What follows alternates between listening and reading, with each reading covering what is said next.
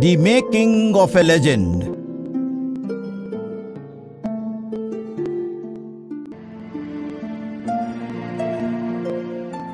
There are men and classes of men that stand above the common head the soldier, the sailor, and the shepherd not frequently.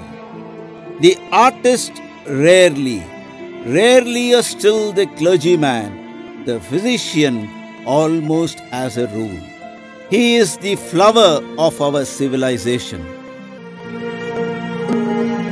The practice of medicine is guided by the four principles of mastery, individuality, humanity, and morality. No wonder the members of the medical profession are held in the highest esteem in the eyes of the common man. Doctor's Day symbolizes expression of gratitude by the patients towards the medical professionals. In 1990, the Indian Medical Association, the world's largest non governmental organization, proposed to the Government of India that the 1st of July be declared as Doctor's Day, which was promptly accepted and officially notified. The 1st of July was chosen as it happens to be the day of entrance and exit of one of the greatest personalities of our country who embodied the values of an ideal human being, Dr. Bidhan Chandra Roy. A brilliant academician, eminent physician, erudite scholar, astute politician, strict disciplinarian, patriot to the core, and one of the builders of modern India. We will now embark on a journey into the life and time of Bidhan and trace the events which have led to the shaping of the personality of Dr. Bidhan Chandra Roy into a Bharat Ratna, the precious jewel amongst Indians. Bidhan was born on the 1st of July 1882 to Prakash Chandra and Agor Kamini Devi at Bankipur in Patna on the banks of the river Ganges.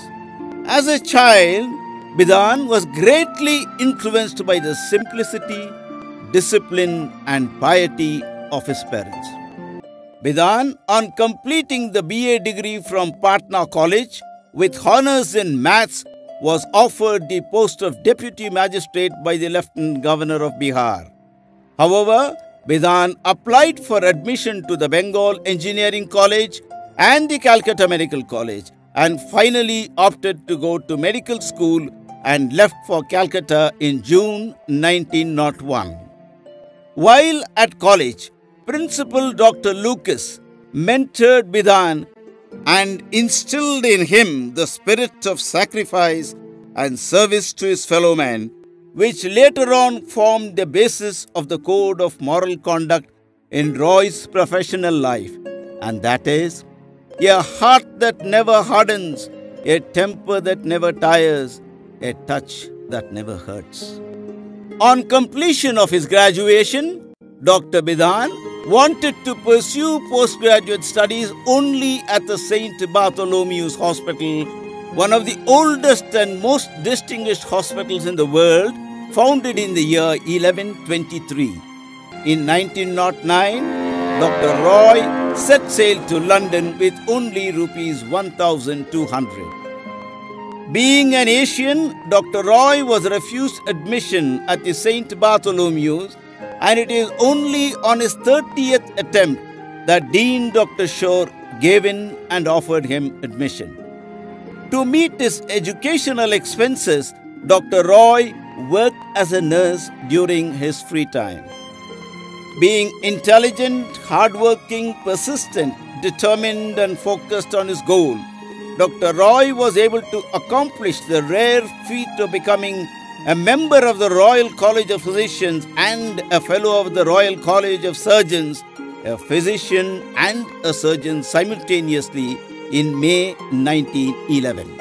On his return to India in July 1911, set up practice which brought him into direct contact with the sufferings of the people, their want and poverty, and this led him to resolve to do everything in his power to help the needy, which became the central passion of his life. His kindness, healing touch, and capacity to nurse patients back to health is legendary. Dr. Roy was a physician to the Mahatma and is seen with a group of reporters at the Aga Khan's palace in Pune in 1943, briefing them on the status of Gandhi's health while into his 21st day of fasting. In 1948, while Dr. Roy was attending on Gandhi at Delhi, the Bengal Congress Legislative Party proposed Dr. Roy as the leader, to which Gandhi remarked that he is duty bound to accept the decision. And on 23rd January 1948, Dr. Bidhan Chandra Roy was sworn in as the Chief Minister of West Bengal by Governor C. Rajagopalachari.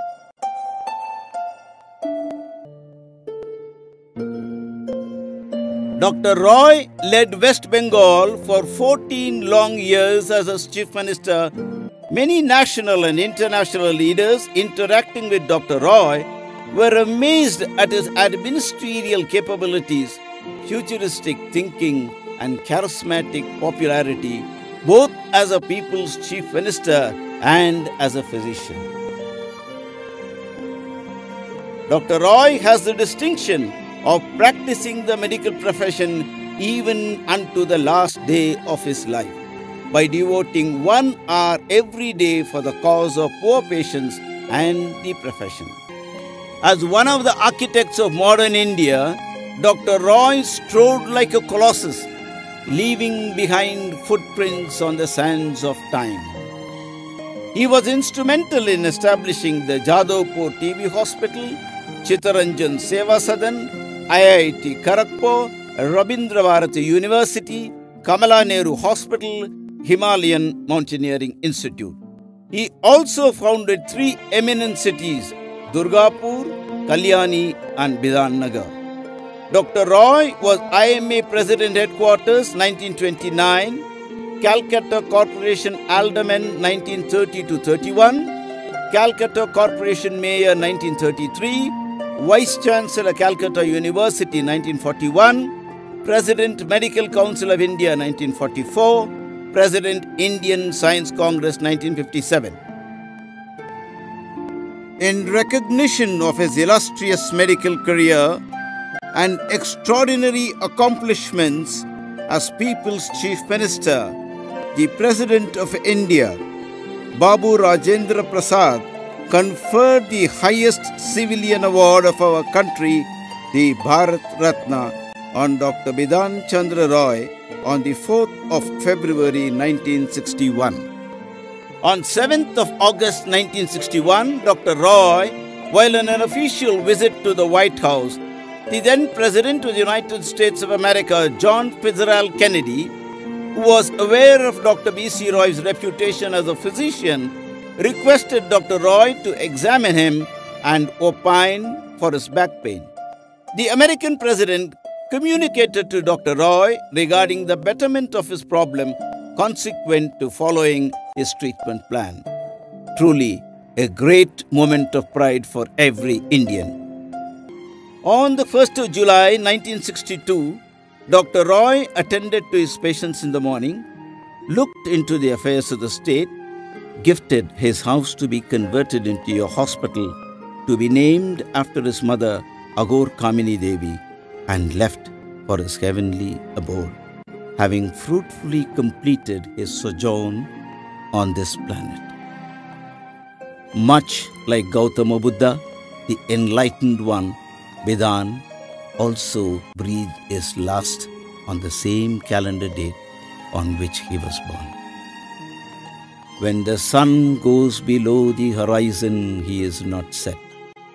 The heavens glow for a full hour after his departure. And when a great and good man set, the sky of the world is luminous long after he is out of sight. Such a man cannot die. Leaves behind him much of himself. Being dead, he speaks.